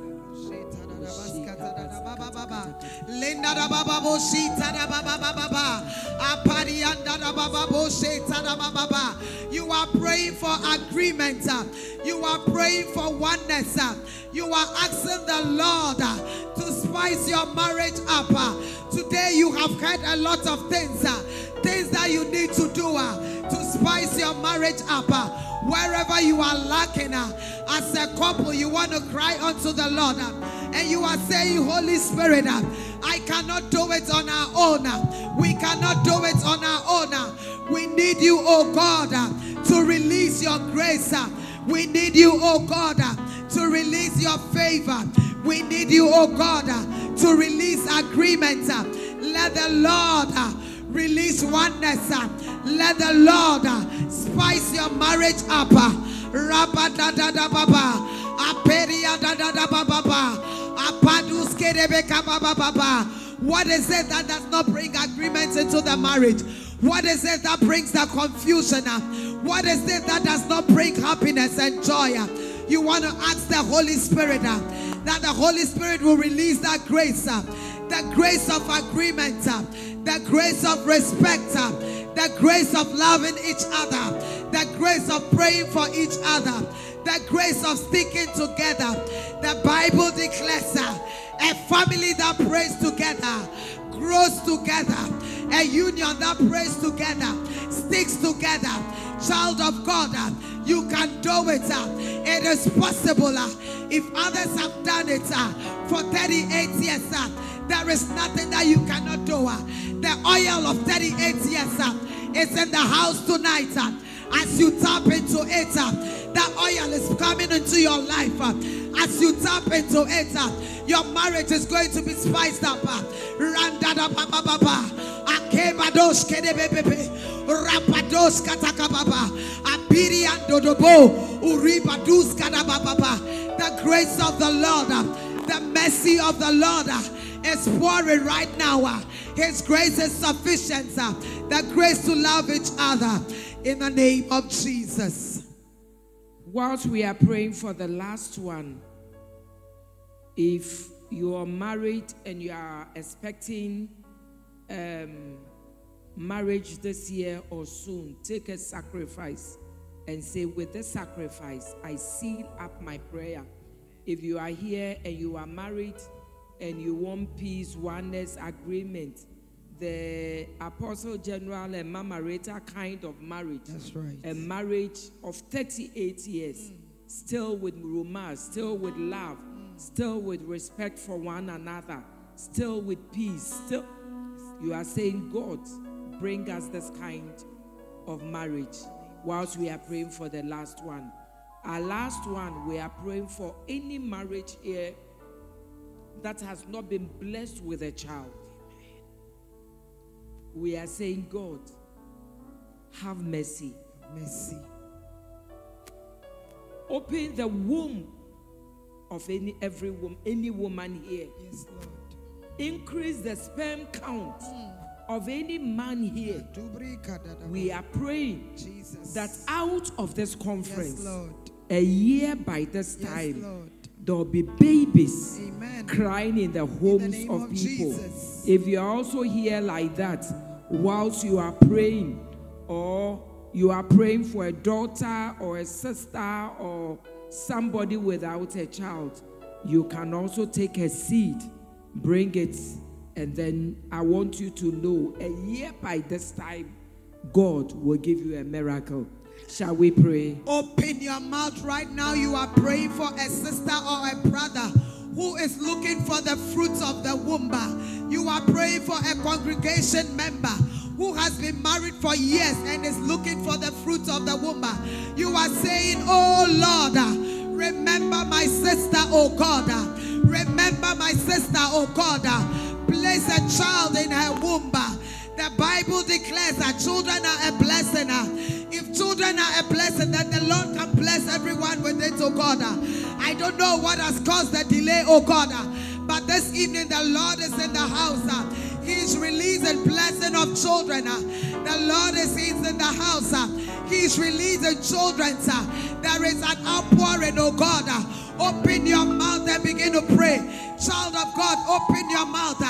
Pray and ask the Lord to bless your womb chil- with children. uh, Pray and ask the Lord uh, to release Lift your voice, lift your your voice. Lift your voice. uh, Pray. Pray. Let there be a release Let there be a release. Let there be a release Let there be a release. The fruit of the womb. The fruit of the Let womb. there be a release Let there be a release. A year by this A time. year by this time. Testimonies. Testimonies. Testimonies. Testimonies. Coming out. Come on now. Marriages. Marriages. Coming out. Coming out. In the name of In Jesus. the name of Jesus. Breakthroughs. Breakthroughs. Coming out. Coming Pray. out. Release Pray, right release. now. Let Right there be now, a release. Let there be a release. Marital bliss. Marital. Marital joy. Marital joy. Marital peace. Marital Let there be a release. In a troubled marriage. Let there be a healing. Lift your voice. Lift your voice. The. Lord is listening. The Lord is The answering. The The rain. Is falling down now. The rain is falling down now. Yes, The rain of joy. Yes, The rain of peace. Yes. The rain of happiness, the rain of long lasting bliss is falling down now. Let it fall. The rain of babies, Let it fall. the rain of marriages is fall. falling down now. Lift your voice, lift your voice. Miracles are being released. Miracles Yes, are being released. Testimonies are being released. Lord. A year by this time, Yes, when we come again, Yes, we shall have testimonies Yes, of people carrying their babies. Testimonies of people who married out of this conference. In the name of Jesus, lift your voice. Lift up your voice. Leka parale. You wanna ask the Lord. Malunde to release liberali. uh, Oh God, the blessing of fruitfulness, the blessing of peace, the blessing of joy. In our homes, in our marriages, in a troubled marriage. Let there be healing. Let there be healing. Let there be healing. in the name of Jesus. Clap your hands to the Lord. Clap your hands and celebrate. Celebrate the reign of the blessings of God. Celebrate, celebrate, celebrate. Clap your hands and give the Lord a shout. I said a shout. I said a shout. I said a shout. What a blessing. What a blessing. The woman is loaded. So much. You know, we have taken off well. Next year is not going to be easy. We have taken off like British Airways taking off. Because the pilots know, the experience know. Clap your hands for this woman of God. The anointing of the apostle general. Ah, what a blessing. What a blessing. Friendship in marriage and relationship. And she was saying she has so many points. She had to, you know, give us just a gist. What a blessing. Clap your hands for yourself for being patient. I didn't say anybody sleeping. I can see that you are wild for the blessing. You are wild to have a blessed marriage. Clap your hands for yourself. Hallelujah. God bless you so much, Mama Rita. God bless you for this pouring out your heart to us, blessing us so much, opening our eyes to things that hitherto were blind to. We thank you for even coming. Your presence alone is a very great blessing for us. I mean, when you entered my office, I was so elated. I was so happy. I was so excited because I know that you have opened the door. And this December, we are bringing the Apostle General. Makatayanda Labayali. You have opened the door. You have opened the door. And I know that you are going with a good report. And I know that your report will favor us. Because this is your church. This is your house. Hallelujah. Can we be, can we take our seats? We want to welcome Reverend Naka to come and say a few words. oh, clap your hands. Honor, honor the firstborn of the Mama Rita. Oh, if that was for me, do a better one unto the Lord. Oh, you don't sound excited at all to be here. As if you are not satisfied with the meal. Oh, amen. Just a short one. The Bible says in 1 Corinthians chapter 2, verse 9, the eye has not seen, ear has not heard, neither has it entered into the heart of man what God is about to do for those who love him. Now, because you have come to spend your Sunday night here, it means that you love God. It means that eye has not seen what the Lord is about to do for you. Only those here received it. Ear has not heard about your wedding announcement. Oh, eye has not seen the pregnancy of your twins. Oh, they have not seen the first class. They have not seen you in your graduation gown. Oh, they have not heard that you are about to go for holidays in Disney World with your family and your children. Oh, they have not seen your new car. They have not seen your wedding ring. I am here to prophesy to you that by the end of this year, the Lord is about to smile on you. He is going to give you a testimony. He is putting dancing on your feet. Oh, your enemies will hear about your testimony and they will ask, Which God do you serve? Hey, they will hear and they will say, Can you pray for me? They will hear and they will ask you, Which altar did you go? And you will say, It is the Lord. It is the Lord. I declare that you are blessed in Jesus' name. Amen.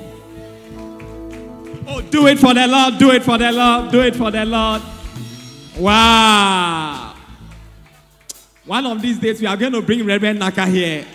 One of these days, one of these days, singles retreats. We are going to bring her here. What a blessing. Hallelujah. I want to thank all of you for taking your time out to attend the Blessed Marriage Conference. God bless you. I believe that your time here has not been wasted at all, but it is a time that you have invested for miracles in time to come. And I believe that a year by this time, when you come again for the Blessed Marriage Conference, you will testify that after attending this conference, you had a restoration of joy, you had a restoration of peace, you had a restoration of harmony, you had the restoration of a relationship that was on the verge of collapsing. But when you attended, there was a revival. And I believe that it shall be so in Jesus' name. Amen. After we close, pastors, please don't be in a hurry to go. We have a short reception upstairs. So um, some of the leaders will direct you to go, and then I'll bring Mama Rita to spend a short time with us before she leaves. Amen. I want us to give an offering before we go. I believe that you have sown some seeds, but Bible says that in the morning sow thy seed, in the evening withhold not your hand, for you do not know which one, either this one or that one, shall yield a fruit. So you want to take something to sow. You see, the, the, the words we have heard today are great words, are wise words. And the Bible says that a wise man will hear and will increase in learning. I have taken a lot of um, wisdom keys, and out of those keys, I've seen so many things I can even glean from it. All right, so as you sow into it, God is going to even open your eyes to see more than you saw today, to hear more than you heard today, which is going to make your life better than it is today. Clap your hands to the Lord. I said, clap your hands if you are excited about this. Amen. So please take an offering and we can be on our feet to give our last sacrifice before we leave here. And I believe that it's not going to be, our lives are not going to be the same. If you are ready with your sacrifice, I want to pray. I want to pray. There's going to be a short praise as we give, and we're going to come from the back to give. Are we ready? Heavenly Father, we thank you tonight for the privilege that we have had to spend with a great woman of God, a woman that you have graced with wisdom, a woman that has endurance, that has tenacity, that has gone through the test of time as far as ministry, relationship, marriage is concerned. Tonight we have heard so many things, and we are about to sow into whatever we have heard. Father, as we sow these seeds, it is our prayer that we are not just hearers, but doers of whatever we have heard. For it is in the doing that blessings come into our lives. Let these seeds that we are sowing go through time and space to bring to us the testimonies we need and the miracles that we need. That a year by this time we shall testify that we went for a conference and that turned things around in our favor. We thank you, Lord, in Jesus' name. Amen. You are highly lifted up, awesome God. You are highly lifted up, mighty God. Oh, you are lifted up, awesome God. You are highly lifted up, mighty. You are highly lifted. Say, you are highly lifted up. Awesome God. Can we be on our feet, please? Yes, you are highly lifted up. You are highly lifted, says you are highly lifted. Awesome God. Hey, you are highly lifted up. You are the reason why I lift my hands, why I lift my voice, why I sing to you. Oh, you are the reason, you are the reason. I am here to say, I am so because of you. Hey, you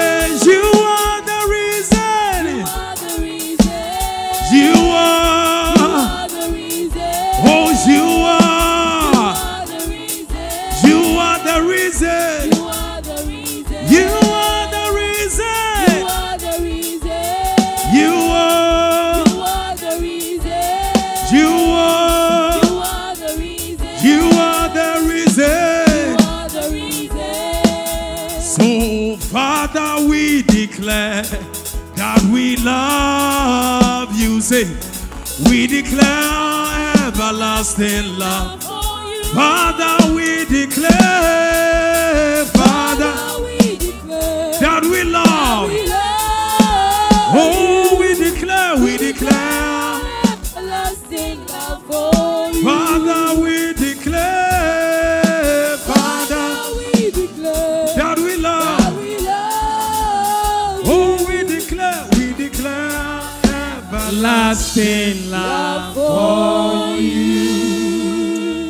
your hands to the Lord.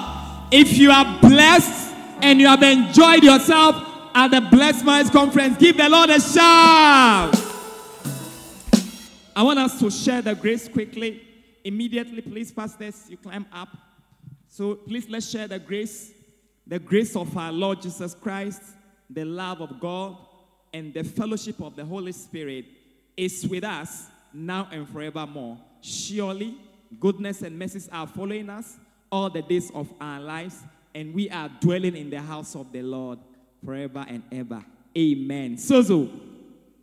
Sozo. Sozo. God bless you. Have a blessed week. Pastors, please let's go up.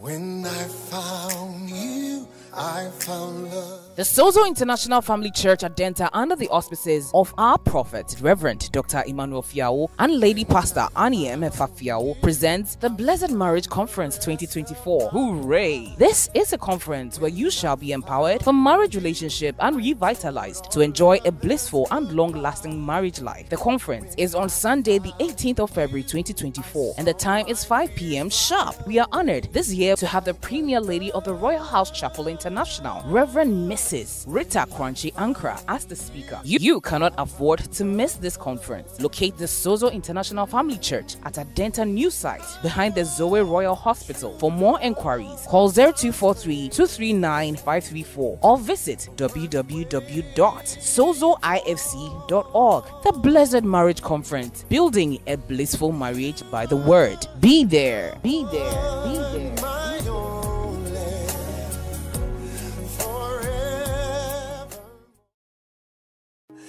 When I found you, I found love. The Sozo International Family Church at Denta, under the auspices of our prophet, Reverend Dr. Emmanuel Fiawoo and Lady Pastor Annie M. Fiawoo, presents the Blessed Marriage Conference 2024. Hooray! This is a conference where you shall be empowered for marriage relationship and revitalized to enjoy a blissful and long-lasting marriage life. The conference is on Sunday, the 18th of February 2024, and the time is 5 p.m. sharp. We are honored this year to have the Premier Lady of the Royal House Chapel International, Reverend Mrs. Rita Korankye Ankrah, as the speaker. You, you cannot afford to miss this conference. Locate the Sozo International Family Church at Adenta New Site behind the Zoe Royal